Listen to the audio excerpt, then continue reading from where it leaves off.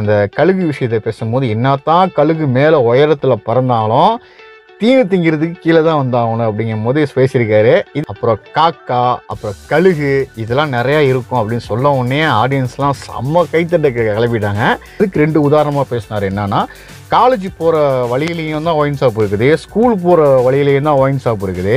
But அதெல்லாம் அங்கே போகிறவங்களாம் ரெண்டு கட்டிங் போட்டு அங்கே போகிறான் ஸ்கூலுக்கு காலேஜுக்கும் கிடையாது அவனுக்குலாம் அந்த அறிவு இருக்குது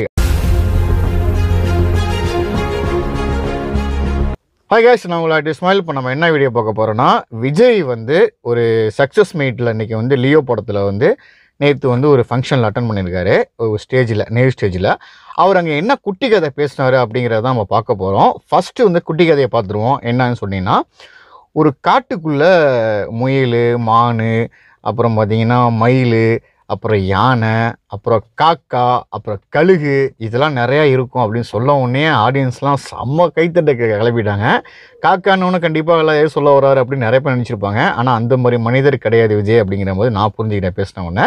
ஆனால் கிளாப் வேறு லெவலில் இருந்துச்சு. காட்டில் இதெல்லாம் இருக்குமே அதனால தான் சொல்ல வந்தேன் அப்படின்னு சொன்னார்.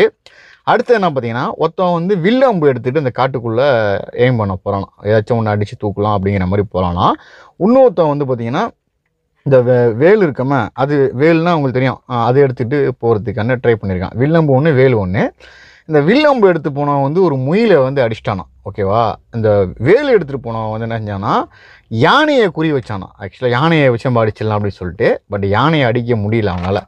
திரும்பி ரெண்டு பேர் ரிட்டர்ன் வராங்க. இதில் யார் வெற்றி பெற்றவங்க அப்படின்னு விஜய் சொல்கிறார்னு பார்த்தீங்கன்னா அந்த யானையை அடிக்க முயன்று அடிக்க முடியாமல் வில்லம்ப திரும்பி ரிட்டர்ன் வந்தார? அவர் தான் வெற்றியாளர் அப்படின்னு சொல்கிறாங்க எதுனா என்றைக்குமே ஒரு செயலை வந்து என்றைக்கு நம்ம செய்யணும்னா சிம்பிளாக என்றைக்கும்லாம் செஞ்சுட்டு போயிடலாம். ஒரு சாதிக்கணும்னா முடியாததை நம்ம வந்து என்றைக்குமே முயற்சி செய்கிறாங்களே அதுதான் வந்து பெரிய வெற்றி காரணம் அப்படின்னு சொல்கிறார் அவர் சொல்லும் போது அந்த விஷயம் வந்து ரொம்ப எனக்கு பிடிச்சிருந்துச்சி. ஒரு சாதாரண விஷயம் ஏதோ ஒரு சின்ன ஒரு செஞ்சிட முடியும் அப்படின்னு நினைக்கிறத வந்து ஈஸியாக அதை அச்சீவ் பண்ண முடிஞ்சிடும். அது எல்லாமே பண்ணிடலாம். ஆனால் செய்ய முடியாது செய்ய முடியாதுன்னு ஒதுங்கி போகாமல் அவங்க ட்ரை பண்ணுறாங்களே அந்த யானையே பண்ணுறாரா அப்போ அவர் அடுத்த நட போகும்போது தான் ட்ரை பண்ணுவார் கண்டிப்பாக அவர் ஜெயிச்சுவார் அப்படின்னு சொன்னார். முயற்சி என்றைக்குமே விட்டுறாங்க கண்டிப்பாக எல்லாருக்குமே இருக்குது. அதனால் வந்து அதை ட்ரை பண்ணுங்க தொடர்ந்து கண்டிப்பாக வெற்றி அடையும் சொல்லிட்டு அழகான முறையில் அவர் பேசினார். அந்த ஸ்பீச் வந்து எல்லாத்துக்குமே ஒரு பூஸ்டிங் கொடுத்துச்சு. நம்மளால் வந்து சின்ன முயற்சி செஞ்சுட்டு இருக்கிறது வந்து என்றைக்குமே ஒரு வலுவடைஞ்சு அது வேறு லெவலில் பெரிய லெவலில் ஆகும் அப்படிங்கிற மாதிரியான என்னோட கருத்தை நான் எடுத்துக்கிட்டேன். அவர் பேசின சூப்பராக இருந்துச்சுங்க. அப்புறம் பார்த்தீங்கன்னா வழக்கமாக வந்து நம்ப நான் நண்பா நண்பிகள் அப்படிங்கிற மாதிரி என் நெஞ்சில் குடியிருக்கும் அப்படிங்கிற மாதிரி பேசினார்.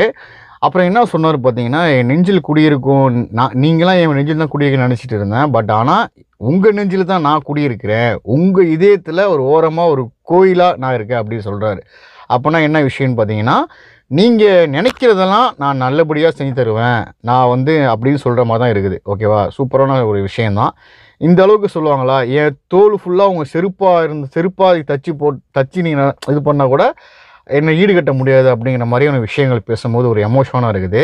இது எனக்கு ரொம்ப பிடிச்ச விஷயமா இருந்துச்சு. அப்புறம் பார்த்தீங்கன்னா இன்னொரு முக்கியமான விஷயம் என்னன்னு பார்த்தீங்கன்னா இந்த ஏவிஎம் ஸ்டுடியோ சரவணா இருக்கார். அவர் ஒரு நாள் வந்து காரில் போயிட்டு இருக்கும்போது ஒரு மூதாட்டி போயிட்டு இருந்தாங்களா அந்த மூதாட்டிகிட்ட வந்து ஒரு நூறுரூவா காசு எடுத்து கொடுத்தாராம். அவங்க வணக்கம்னு சொல்லிட்டு அவருக்கு வணக்கம் வைக்காமல் எம்ஜிஆருக்கு வணக்கம் வச்சுருக்காங்க. அப்போ பார்த்துங்க அந்த சொல்ல விஷயத்தை பார்க்கும்போது நமக்கு எப்படி தோணுதுன்னா அந்த அந்த நூறுரூவா காசு கொடுத்தாலும் அந்த அவர் மனசில் என்ன இருந்திருக்கு?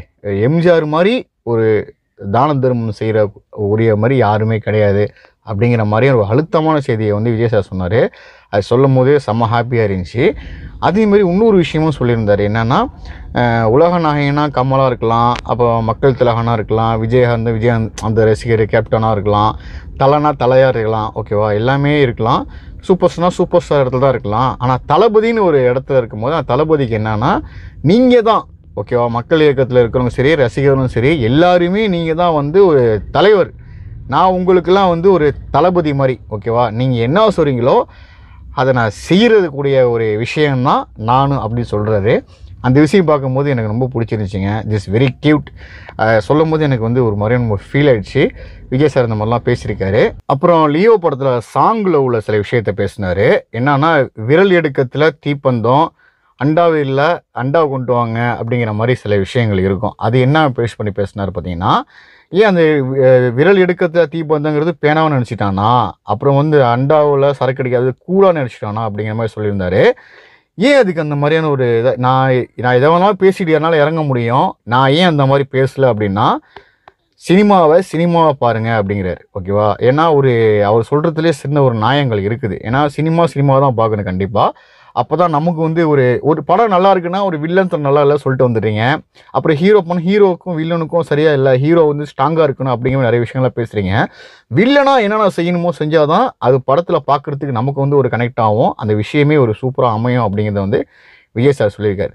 படத்தை வந்து படத்தா பா படமாக பாருங்கள் ஓகேவா அதில் குட் அது வந்து படமாக பார்த்தீங்கன்னா எந்த பிரச்சனையும் இருக்காது. அது கலரி விட்டு வேறு மாதிரி பண்ணுன்னு நினச்சிங்கன்னா தப்பாக போவோம் அப்படிங்கிற மாதிரி தான் ஒரு வில்லனுக்கு என்னென்ன தேவை என்ன பவர்ஃபுல்லாக இருக்குமோ என்னென்ன சீன்ஸ் இருக்குமோ அந்த சீன்ஸ் பவர்ஃபுல்லாக இருந்தால் படம் சூப்பராக இருக்கும். அவர் சொன்ன விஷயம் வந்து எனக்கு ரொம்ப பிடிச்சிருந்துச்சிங்க. இந்த லியோ சாங்ஸை பற்றி நான் சொல்லியிருந்தாரு. பார்த்துவீங்க இது வந்து பேனா கூட எடுத்துருக்கலாம் அந்த கூலாக எடுத்துருக்கலாம் அப்படின்னு சொல்லிட்டு. அதுக்கு ரெண்டு உதாரணமாக பேசினார். என்னன்னா காலேஜ் போகிற வழியிலையும் தான் ஒயின் ஷாப் இருக்குது. ஸ்கூல் போகிற வழியிலையும் தான் ஒயின் ஷாப் இருக்குது. பட் அதெல்லாம் அங்கே போகிறவங்களாம் ரெண்டு கட்டிங் போட்டு அங்கே போகிறான் ஸ்கூலுக்கு காலேஜுக்கும் கிடையாத அவனுக்குலாம் அந்த அறிவு இருக்குது அப்படின்னு போகிறவங்க சொன்னார். அது கேட்கவும் சூப்பராக இருக்குது அவருக்கு சில ஆசைகள் இருக்குது விஜய்க்கு. என்னென்னா பார்த்தீங்கன்னா எல்லாருக்குமே நல்லது செய்யணும். ஓகேவா இவர் மூலிமா நல்லதுமே நல்லது செய்யணும். யாருமே வந்து கஷ்டப்படுறவங்க இருக்கக்கூடாது எல்லாமே நல்லபடியாக இருக்கணும் அப்படிங்கிற மாதிரி ஒரு எய்மில் இருக்கார். அது வரைக்கும் ரொம்ப சந்தோஷம். கண்டிப்பாக விஜய் சார் வந்து பேசின விஷயங்கள் சூப்பராக இருந்துச்சுங்க. அதுக்கு நல்ல விஷயங்கள் நிறைய விஷயம் நான் அவங்க சொல்லியிருந்தேன். எனக்கு ரொம்ப பிடிச்சிருந்துச்சி. கண்டிப்பாக அவர் எண்ணம் போல் நிறையா இருக்கட்டும். ஏன்னா ரசிக இன்றைக்கி மக்கள் இயக்கத்தில் உள்ளவங்க எல்லாருமே வந்து இன்றைக்கி செம்ம என்ஜாய்மெண்ட்டாக எல்லாமே இருந்தாங்க. ஒரு சக்ஸஸ் மீட்டில் கண்டிப்பாக அவர் படம் மேலும் மேலும் பண்ண நான் இறைவனை வேண்டிக்கிறேன் நீங்களும் வேண்டிங்க. கண்டிப்பாக அவர் பேசின விஷயத்த வந்து ஒரு கடுவளவாக லைட்டாக அப்படின்னு நான் சொல்லியிருக்கேன். அப்புறம் அவர் லியோ ஆளில் இப்போ படத்தை பற்றிலாம் என்ன பேசினார் அப்படிங்கிறத வந்து முழுமையாக நீங்கள் வந்து சன் டிவியில் போடும்போது நீங்கள் தெரிஞ்சுக்கிங்க. இது வரைக்கும் சின்ன ஒரு குட்டி கதையை ஃபஸ்ட்டு சொல்லியிருப்பேன். ஆக்சுவலாக சில விஷயங்கள்லாம் கூட சொல்லியிருக்கேன். கண்டிப்பாக பிடிச்சிருந்துச்சுன்னா கண்டிப்பாக லைக் பண்ணி ஷேர் பண்ணி சப்ஸ்கிரைப் பண்ணி ஃபேமிலி ஃப்ரெண்ட்ஸு மக்கள் இயக்க ஃப்ரெண்ட்ஸு அப்புறம் விஜய் ஃப்ரெண்ட்ஸ் எல்லாத்துக்குமே ஷேர் பண்ணி விடுங்க. அடுத்த நாள் உள்ள சந்திக்கிறேன். அது வரைக்கும் விடைபெறுகிறேன். உங்கள் லாக்டர் இஸ்மாயில். இருங்க இருங்க இன்னொரு விஷயம் இருக்குது. அதையும் ஏதோ சேர்த்து பேசிடலாம் அப்படிங்கிற மாதிரி ஒரு மைமில் இருக்கேன். என்னன்னு பார்த்தீங்கன்னா ரத்னகுமார் சார் ஒன்று பேசியிருந்தாராம். அந்த கழுகு விஷயத்தை பேசும்போது என்னத்தான் கழுகு மேலே உயரத்தில் பறந்தாலும் தீனி திங்கிறதுக்கு கீழே தான் வந்தாகணும் அப்படிங்கும் போது பேசியிருக்காரு. இதை பற்றி என்ன நினைக்கிறீங்க அப்படின்னு கமெண்ட் பண்ணல கமெண்ட் பண்ணுங்கள் அடுத்த நாள் வீட்டில் சந்திக்கிறேன். அது பேர் உங்களோட பாய்